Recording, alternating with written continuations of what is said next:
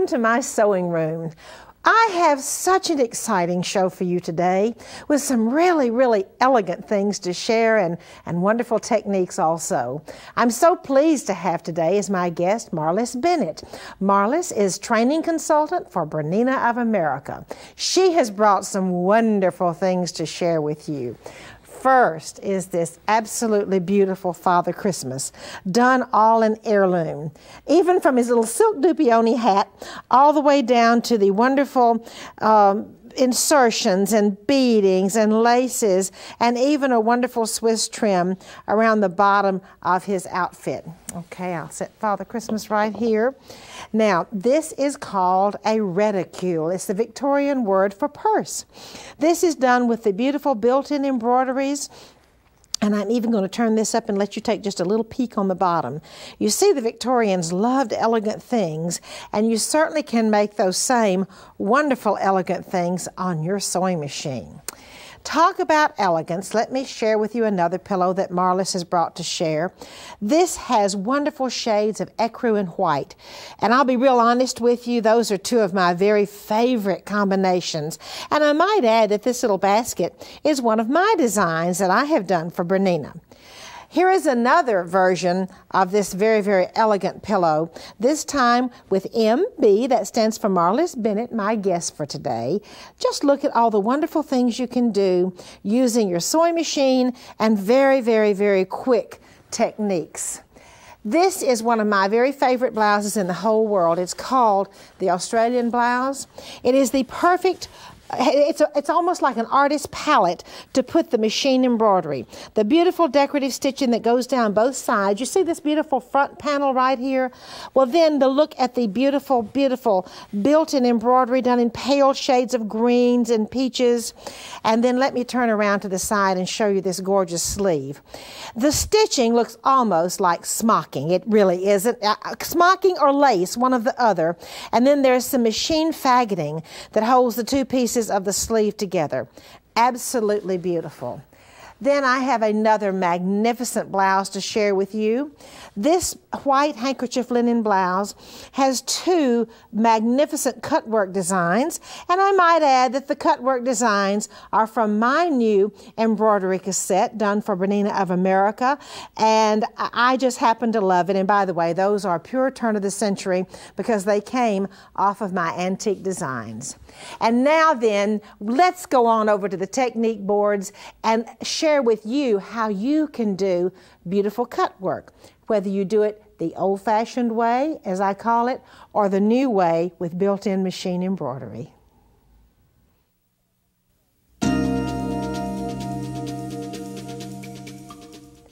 You heard me say a minute ago we were going to show you the old fashioned way for cut work. Well, actually, ladies and gentlemen, the old fashioned way was by hand. I guess I should have said the first and traditional way for cut work if you have straight and zigzag on your sewing machine. And then, of course, the magnificently easy way if you have one of those cat's meow sewing machines that you just put it in there and embroider it and every, all the work is done for you. Let's talk about the traditional way. First of all, you have a pattern. You trace it off off, and then you trace your pattern onto your fabric, which this happens to be a linen. The next step in the traditional way is to come in and cut out all of your areas because cut work, as you know, has cut out areas. So I will trim it all out. Then there are three steps when I go to my sewing machine with just using a zigzag. The first step is to do the Richelieu bars, which go across and connect it because those little pieces would flop apart if they didn't have connections. The second step is to go all the way around the whole design with your heavy zigzag. Oh, your stitch width will be about two and your stitch length will be a satin stitch, whatever that is on your sewing machine. That, by the way, you do have stabilizer behind this. Step number three is to come in and cut away the stabilizer, making a beautiful cut work. Now, if you happen to have a wonderful sewing machine that does all of this for you. All in the world you're going to do is to hoop your stabilizer and your fabric into the machine, press a button, and it will go straight stitch all the way around the outline. Now the only little handwork you have to do is to trim away the fabric only. Leave the stabilizer. In this case, I trimmed away the linen. I left the stabilizer and then simply press the button on the machine again and it will go around and do every bit of the work. The Richelieu bars, all of the outline stitch, and then after that you will gently remove the stabilizer. Now to share with you some of this complete magic, I have once again to introduce to you my dear friend Marlis Bennett, who is training consultant for Bernina of America. Marlis, welcome back to the well, show. Thank you. Thank you. I'm so excited to be here. We're going to start today. I'm using one of your designs, and I'm going to start with this beautiful ivy leaf. And I've got my pattern, I've traced it onto my linen right here, and I've drawn all the markings. Although I'm going to cut some of these areas out, I've got all the markings there for me. There are two different ways you can do this. You can do this with the wash away stabilizer and then draw your markings on there because you've got to do the Richelieu bars first.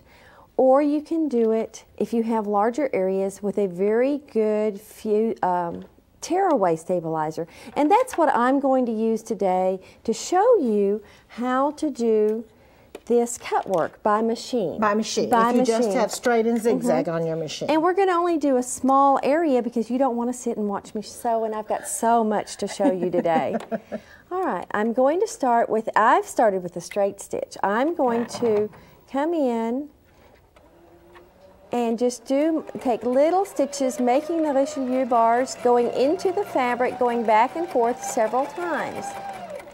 This gives strength when you're going to go back in and put your zigzag over the top. And then I'm going to, instead of cutting or my thread, I'm just going to travel free motion to my next step. That means your uh, feed dogs my are down. My feed dogs okay. are down. Okay. And then I just come back and forth several times and then I have my bar made. Okay. If I want, if I'm ready to do my uh, my zigzag now, my machine is set up for about two and a quarter stitch width and a very tight satin stitch. And then I'm, oh, I need to change my foot. I want to change the foot and go back to an open-toed embroidery foot so I can see where I'm going. Put this on and then I just bring the feed dogs back up and come forward. And then that way I have one of the bars done. My next step, of course, would be to go around the whole outside. And it's like applique. You want to do the outside layers first and then come in and do the main design of your, of your uh, cut work because that way it lays nicely on the top. All right. That looks here's easy our, enough. It is, yeah. here's our finished piece, and this is done the home way by on the machine, where I've taken and done the Richelieu bars first, then I've gone over and done the zigzag over the top. And so you can see it looks as well, as good as anything you've done. Now maybe the handwork's just a little finer, but well, mine wouldn't be. who has that much time to spend Most to do it don't. by hand anymore? My favorite way is to do it by machine, using the machine to do the embroidery. And how I do that is I make sure that I have my machine set up for embroidery. And these designs are off the new Martha Pullen card. And I use my hoop. You want to have the hoop size adjusted, use the hoop that's closest to the size of the design. I have, you have taken, several size hoops then to choose from. Oh, several. Okay. And I have taken my linen and used a fusible spray to attach the linen to my stabilizer. After I've done so, I hoop it and then I put it into the embroidery unit and let it go ahead. I'm going to select my design and we're going to start this. Although this one has already been pre-started, we're going to let it come up and I'm going to show you that the first thing it stitches are the outline stitches on the machine. Give it a two minute, oh, a minute to bring up the design. It checks the Just hoop all size. by itself. All by yourself. it's wonderful because everything's done for you. You don't have to go do anything. And you know, Marlis, I might add that all of my designs that I've done for the new Bernina card are completely from my antique collection. Are they? Absolutely. There's not there isn't one thing that's been drawn. It's all from my whole collection. They're wonderful. They're absolutely wonderful. Thanks. I had um, quite an opportunity to work with this and have really had a lot of fun playing with the designs. And I'd call it playing because well, that's what it is. It's relaxation and mm-hmm. stress relief. it is. It's very much so. I'm not sewing to save money. I'm sewing to lower my blood pressure and for stress relief. Can you identify with that? oh, I, me too, me too. Anyway, while it has sewn the outside edges, and then I cut away my areas right here. The nice thing is that I can go ahead and not taking this out of the hoop, put it back underneath the machine to let it finish, finish its job as soon as as soon as it is through with the um, with its work on the first go around. So and you just trimmed away the linen and left your stabilizer. I left there. my stabilizer. That's kind of like cutting fabric from behind lace. I know I, we Mm-hmm. always have to kind of practice that a little bit so you don't cut the stabilizer. you don't, away. and if you do, don't worry about it too much. If you use a good quality stabilizer, it's not going Not to. a problem It's then. not a problem. We're going to go ahead and let it start its second row of, st- of All stitching, right. And it and then goes we can around it actually again. sit here and play cards or whatever while it does that again. Right, but I'm going to stop this because I've got the finished product here to show you. When it finishes, you have your fabric right here with the stabilizer still behind it and your design. And what I like to do instead of cutting or pushing this out, because this is delicate work, is I take the mm-hmm. points of my scissors and just very carefully trim around and then pull it out from behind so that you can see that it comes out very, very easily. And this is just a tearaway. When you're finished, you have your beautiful design that looks like this. And then you're ready to do whatever you need to do with it. It's just so easy this way. Many more, few, many fewer steps than the other, their traditional oh my way. goodness, you can go, you can leave the machine and come back when That's it's finished. true. What I want to show you now is another little neat take on your cutwork designs. This Oh. is the one that was on that blouse earlier. It is the cutwork design here in its original form. But I, what I want to show you is that you can also take that cut work design and turn it into an applique. And it's very, very easy. Whereas before, we didn't have, I've just inserted a piece of fabric over the top, let it do its first stitching there, and then instead of cutting away my base fabric, I have cut away around the outside edges of the fabric that I laid over it. And then when I put the fabric back in, I now have the pretty design around the edges and I have what is called applique.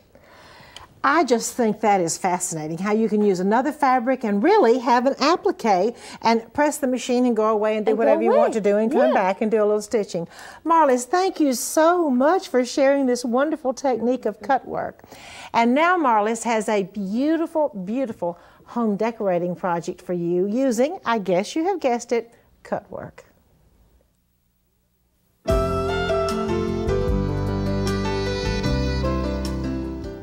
Look at this beautiful table runner. Built-in embroidery designs, I might add once again from my antique collection. Coming down and, and more, three more of those designs right in the middle. And I think this is an absolutely wonderful kind of free motion Richelieu bar strip here. Oh, Marlis, I think this is fabulous. Could you share with us about oh. how this was put together? It's really pretty easy. First of all, I drew out all my lines on my fabric. I've got my center design right here, and then one on one side, and then I'd put one more on the other. Because they're so large, I drew 45 degree angle lines from center. And then that way turned the hoop and hooped my fabric with the template so that the lines matched up, the, the lengthwise line matched up this way, and then therefore I could get that in. I then finished with the rest of the embroidery. Those bars were created using a quilting tool. It's one of the be- flexible bendable guides is Yeah. what that is. and I just put it down into a shape that I liked and drew my lines around it. Once again, drawing them, then cutting out the center, Remember to do the Richelieu bars first and your zigzag around it. What I'd like to do now is show you a little bit of hem stitching and how to achieve the, the corners on that. I pulled threads for my markings instead of marking on the fabric and then pressed in my quarter inch seam on both sides on the marked lines. That's what was so nice about it. I then took my fabric, lined up my marks this way, and would sew a diagonal line right here to give me that mitered corner. We're going to all pretend that this is nicely mitered. What I want to do now is show you how to achieve the pretty, um, what did you hem call stitch. Hem stitch. hem stitch. I forgot the word there for a minute. I'm using a double wing needle. And what it is, a double wing needle has a wing needle on one side and a straight stitch needle on the other.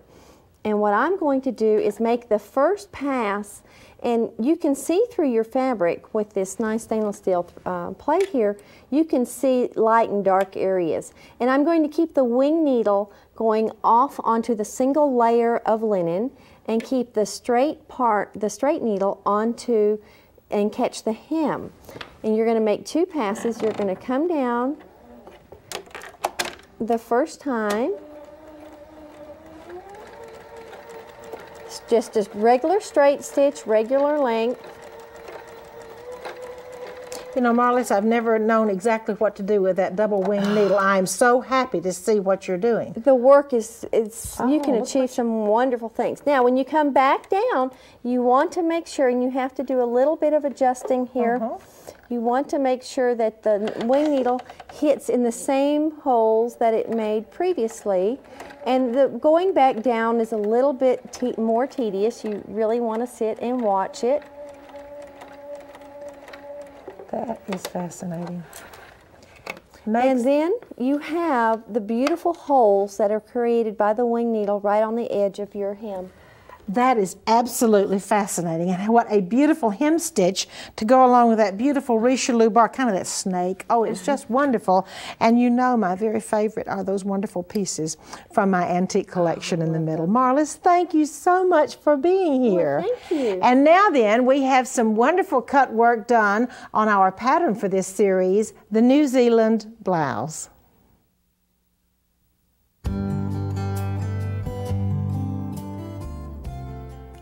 I just love doing heirloom sewing on very, very tailored clothing for women. This is the beautiful cut work technique done on the New Zealand blouse, which we are certainly enjoying for this series. Now let me share with you kind of something cute. Uh, for the collar, we went ahead and lined the underneath of the circular curved part on the top with white so when this wonderful peachy pink cut work was done it would show through with the white underlining. This technique right here is very tailored and very beautiful. Can you see the tatting that has been attached? And this is a heavy heavy satin stitch that, it, that has attached that tatting. A little bit of a zigzag here and a zigzag there. Very very tailored finish. We've used that same finish on the sleeves with a scallop or a scallop, whichever way you pronounce it, and the tatting that has been, first of all, just a little bit zigzagged on, and then that beautiful, very, very tight zigzag, which gives it that pretty color. And this blouse is that wonderful peachy pink that I love so much. This blouse is very tailored. Let me just show you something else. Rather than having puffy sleeves like little girls' sleeves many times are, there are three very tailored pleats there on the sleeves. Can you see that? There is not anything except tailored details, or they're not anything but tailored details on the whole blouse.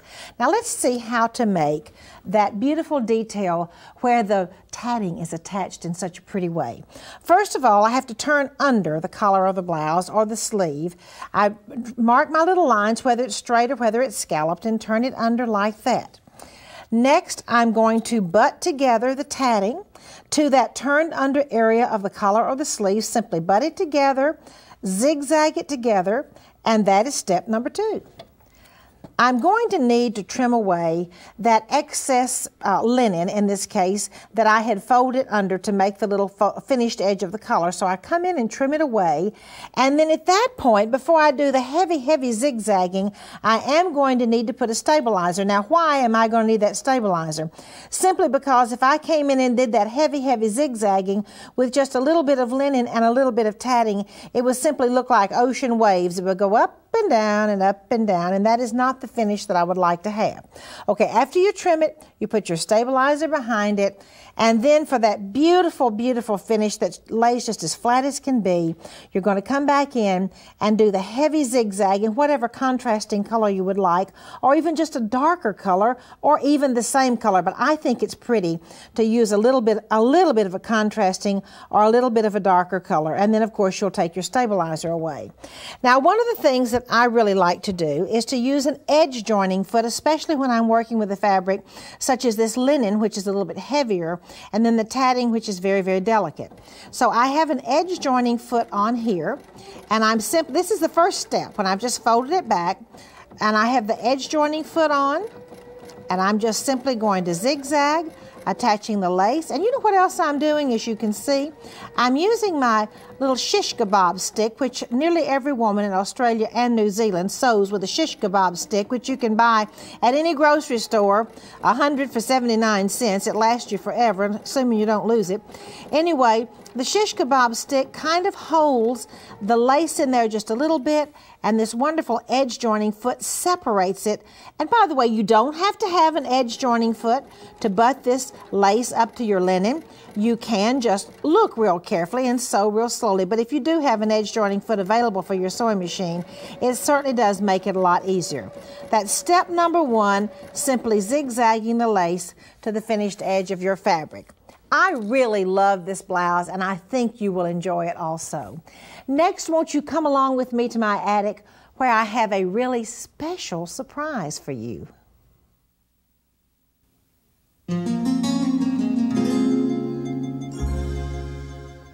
This magnificent, magnificent blouse has the cut work done all by hand. Look at this wonderful high collar. I say wonderful, ladies, I'm kind of glad we don't have to wear collars that high, but isn't it pretty? Then I'm going to come down and show you the beautiful, beautiful hand cut work that somebody spent hours and hours and hours doing. Then on down the blouse is quite pretty too, with just simply folded tucks, narrow tucks and a little bit wider. And then on the back of the blouse, there is, oh, some more of this wonderful uh, cut work.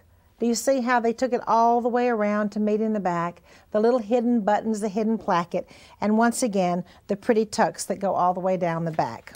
For our Sewing from the Heart for today, I have a letter from Chris Schoenig from Olympia, Washington. And Chris writes to me Dear Martha, for several years, women in our church, the Lutheran Church of the Good Shepherd, have met once a week to make quilts for those less fortunate. They are distributed by the Lutheran World Relief. In 1997, we sent 631 quilts, plus health and school kits and baby layettes. The ladies in our group call ourselves the Piece Corps, P I E C E, the Piece Corps. And another interesting thing about these ladies' uh, Piece Corps, they said there were a few things they made that were not needed by the Lutheran World Relief, so therefore they reached even further out and said they sent baby clothing and other needs to the baby bank at the Boulevard Road Church of Christ. They sent good quality women's clothing to the YWCA Displaced Homemakers Program. They sent other clothing to the local clothing bank, which is a Seventh day Adventist project, and they made suitable clothing, night clothes, and lap robes to send to the Roo-Lan Healthcare Center.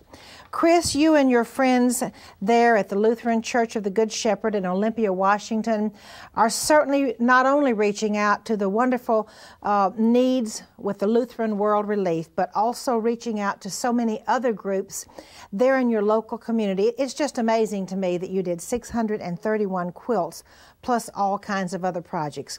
Chris, I'd like to thank you and your other ladies there in your church for all of the work you're doing and for the joy you're having, I am sure, of using your sewing machines to help those in need and those less fortunate around the world and also right there in Olympia, Washington.